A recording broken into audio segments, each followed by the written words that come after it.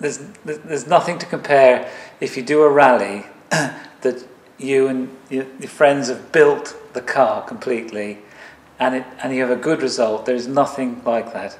You can hire a car but you still won't have the same feeling inside as when you, you build the car yourself. So that, that's that's why we do it really.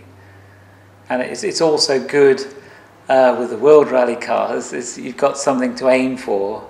Um, to beat really, which has been really good fun over the last 10, 15 years.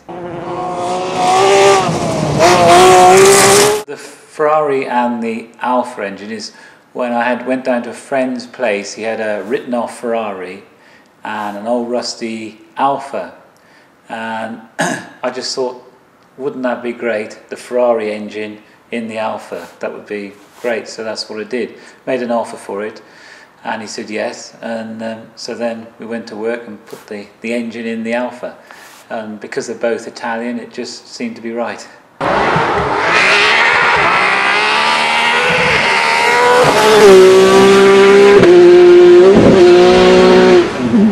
We got to the to where we could with two-wheel drive, and then of course four-wheel drive became very big.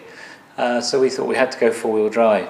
So that's been sidelined. That's that's in a shed at home in the farm, probably with the hens in it. Uh, so then we built the Peugeot, uh, which uh, at its time, you've got to remember this car is 12 years old. At its time, it was quite uh, forward for a four-wheel drive car, but now it's sort of behind all the other four-wheel drive cars. Um, so there was a lot of new things we tried on this that hadn't been tried before, which was quite exciting. And it, but it's taken us a few years to sort it out. A, lo- a lot of people just think we turn up to an event with a car that's just been prepared for us. Uh, what they don't see is the background of what goes in for this car and the work that the boys put in. And last year we had a different type of engine, uh, and this engine we had to rebuild every rally nearly because it's such a, a highly strung engine. It used to rev to 11,000 RPM, which used to sound lovely on rallies, and everybody used to love it. But the, the work that went into maintaining that engine. Um, as you can see, we went through all these cylinder heads, loads of pistons, and this was every rally. We had to take it apart and put it back together. Um, it was worth it when you're in the car singing down a stage, but when you have to do it every rally, it did get a bit, a bit tedious. this is where we build uh, all the engines, gearboxes, everything is made in here.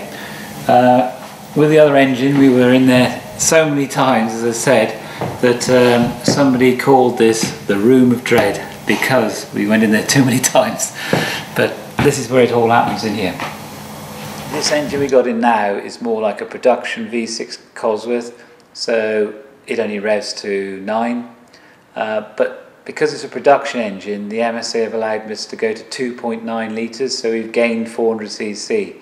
So we're not much less horsepower than the old engine, but of course it's a lot more reliable.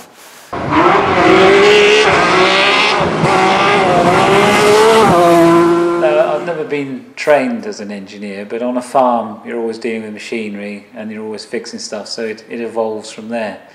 And most of it comes out of logic, really, and as the years go on, you learn not to do that and do that. And, and that's how this present car has been done, really. Um, and it's not just me, of course. Uh, I have a, there's a group of people I have that came and they they do it for nothing. They come in the evenings and we just have a good time doing it. So I hope it continues.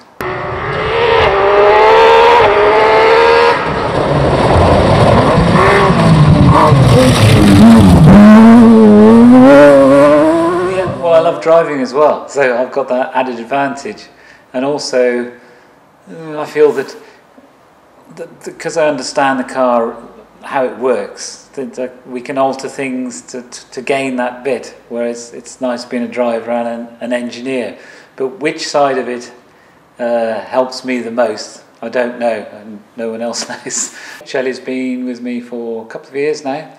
Uh, Shelley's only 22 or 23. Um, she loves it, absolutely loves it, which is great to have that passion as well as us and she's very good. Uh, and we're hoping to do all the BTRDA rounds because the Ancro Championship, which is the one we usually do, has gone to a controlled tyre, which is Pirelli, which obviously was sponsored by Dunlop, so uh, we have to stay with Dunlop, so we're going to do the BTRDA, which I'm really looking forward to doing. Do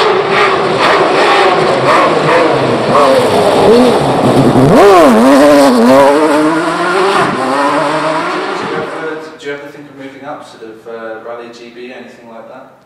No, no, because uh, well, it's it, it's another stepping stone, and the money goes times a hundred, and I just don't think that we get the enjoyment we do out of doing the, the rallies like the Dean and the local rallies around here. I mean, at the end of the day, it's just my hobby, and that's what I've just said. That's as, that's all I want to do is to that level, and um, as long as they keep let me enter, I'll keep doing it. Have you had any offers to, to move up? No, no, no. I've been waiting by the phone for 15 years, and phone's never rung now. But you're, you're perfectly happy doing, doing what you do. yes, because it it's it's it's something you have your work, which is farming with mine, and then it's something to look forward to. So that's what rallying is. It's my hobby. So.